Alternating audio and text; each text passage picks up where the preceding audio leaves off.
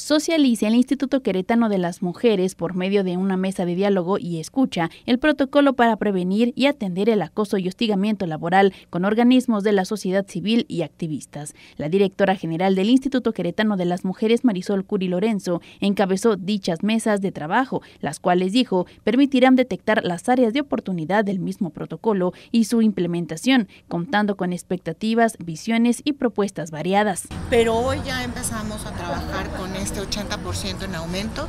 que va a derivarse a todo lo que es la parte de atención psicojurídica y que